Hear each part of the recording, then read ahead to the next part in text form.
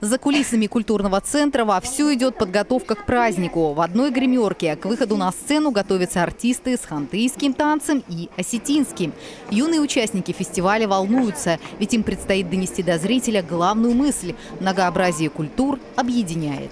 У меня одноклассник татар, у меня есть, ну, у меня даже, у меня бабушка чувашка есть. У меня прабабушка немка, а вот одноклассница и подруга таджичка.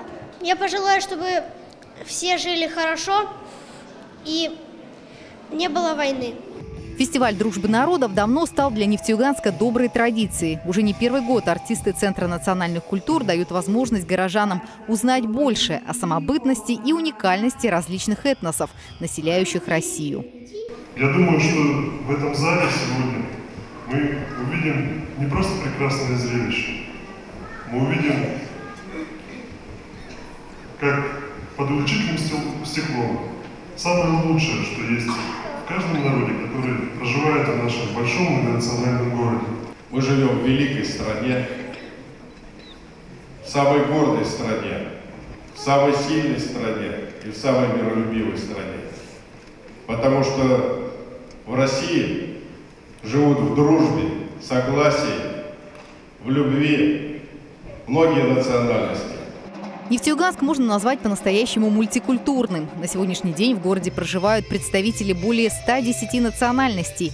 14 диаспор входят в состав ЦНК.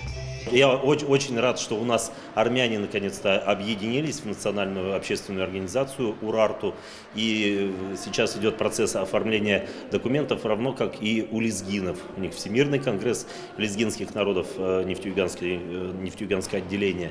И я очень надеюсь, что в нашу дружную семью э, народов России они присоединятся в ближайшее время к нам в ЦНК.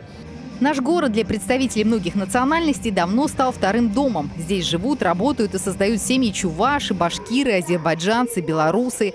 Фестиваль еще раз подтвердил величие России в ее многообразии.